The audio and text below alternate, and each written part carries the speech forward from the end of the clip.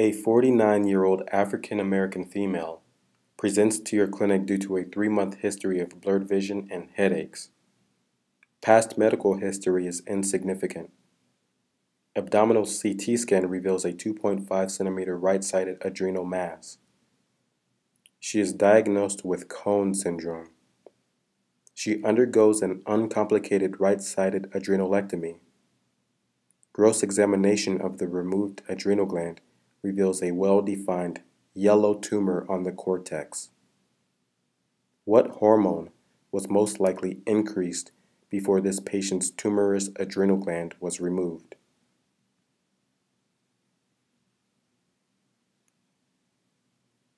Aldosterone. Aldosterone. Primary hyperaldosteronism is excessive production of aldosterone by the adrenal gland, which results in low renin levels.